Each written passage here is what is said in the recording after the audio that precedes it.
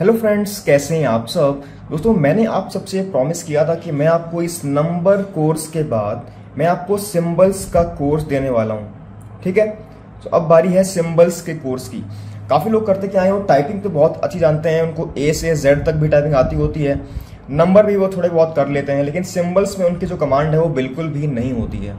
क्यों? क्योंकि वो इसकी प्रैक्टिस करते ही नहीं है। ठीक है?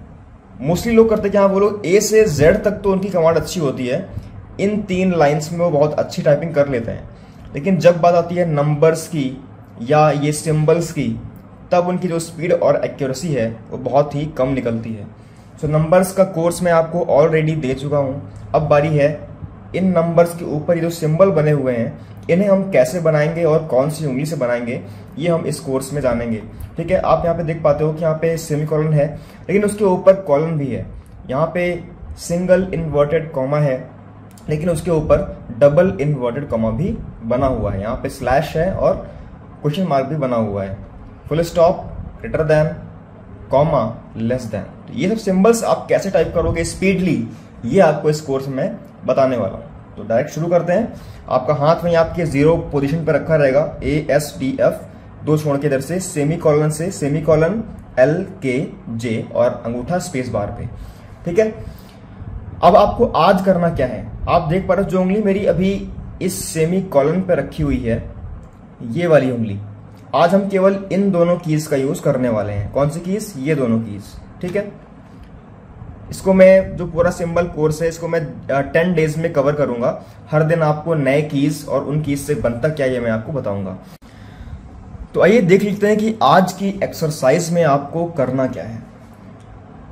आपको ये और ये वाली जो की है, इसको आज कवर करना है। पहले आप ये वाली की प्रेस करोगे सिंपल प्रेस तो क्या बनेगा? सेमी कॉलन बनेगा। सिंपल प्रेस किया तो क्या बना? सेमी कॉलन बना।